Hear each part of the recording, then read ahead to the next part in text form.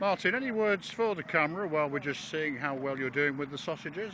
I think we're doing very well with the sausages, thank you. They're, they're going extremely well. Good. Um, arguably in the same way that kerosene goes very well. Let's just see how those flames are in fact helping to cook those sausages there, Martin. Beautiful, well prepared flame. They're nice flames, and I think we've got some very black sausages there. That's I wonderful think you'll work. just find that's the contrast on your uh, rather phone. So, in conclusion, how it shouldn't be done. Thanks, Martin. We'll take that on board.